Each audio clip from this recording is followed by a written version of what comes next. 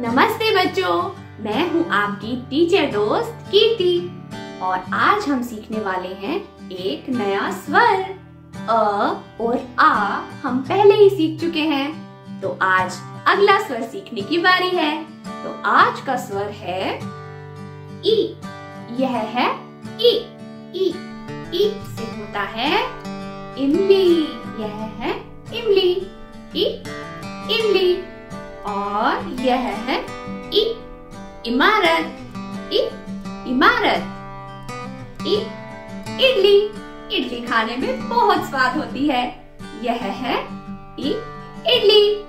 इ से इमारत, इ से इमली, इ से इडली और इ से होती है इमरती। यह है इमरती, इ इमरती। तो आज हमने सीखा इमली, ई, इडली, ई, इमारत, ई, इमरती।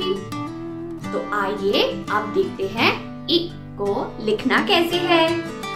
सबसे पहले इस बिंदु से शुरू करते हुए एक छोटी सी खड़ी रेखा इसे उल्टे हाथ की तरफ़ थोड़ा सा घुमा कर लाएँगे और वापस घुमाएँगे और इसकी पूंछ बना देंगे और इसे ढक देंगे बेटी रेखा से यह देखिए कितना सुंदर बना है।